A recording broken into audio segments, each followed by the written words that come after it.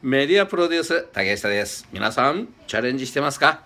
そうなんですね。竹下今この3日間ですね。昨日今日明日とですね東京の方にいるんですけどね。いやーねいろんな方と会っています。今いろんなジャンルの人たちと会ってますけどね。その中で見えてきた年数が一つあります、まあ、2018年ですね。2018年そして2020年っていうのがねはっきり見えてきました。まあ、えー、竹下塾にねハイライトご指導を受けてる方はもうこの数字はよく聞いてたんですけどさらにね間違いがなかったということに確信を持てます。ぜひ皆さんもですね頑張っていただいて、えー、明日というものにチャレンジしていただきたいですね。ということでまた次回お会いしましょう。